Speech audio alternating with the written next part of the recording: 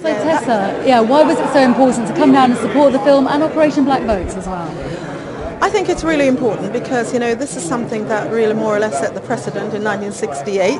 um, for I suppose black people to look on because in those times as well and even in the 40s, 50s and 60s there was a lot of things going on, uh, slavery to not being able to speak, um, not being able to go into places that one wanted to go just because of the skin of your colour and I think you know it was a brave stance that Tommie did and, and John Carlos and, and you know his colleagues and it took a brave person to do that with a lot of heart and to do that on such in such a way that the whole world could see and more or less stand up and recognize and, and see what sort of person that was. So for me tonight, it was interesting to come and just actually see, you know, what sort of person that was and why he did and, and all that sort of thought it was very, very important to do that if you feel that way inside. Did this gesture inspire you as a person, as an athlete at all?